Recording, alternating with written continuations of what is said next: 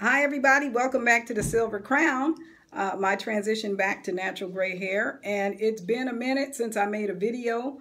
I'm back at my condo temporarily because we're uh, clearing it out and trying to get tenants and all that. So I'm in a bigger bathroom.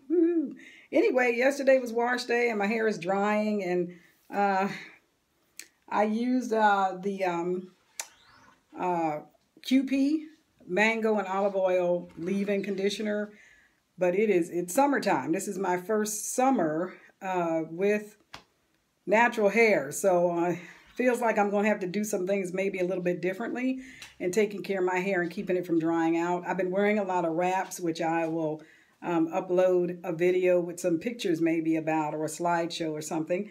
But um, I'm uploading some pictures because I had done a series on taking care of your man's hair.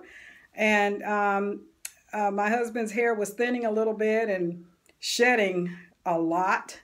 So we had been treating it with coconut oil and tea tree oil on the scalp or coconut oil and peppermint oil. And I wanted to give you guys an update about that too.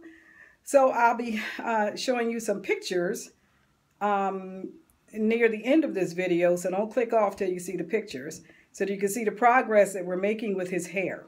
Okay. And if you have any questions about anything else we've been doing in the meantime, just let me know. Leave your comments in the comment section below. And I'll see you next time. Thanks for stopping by. And don't forget to subscribe.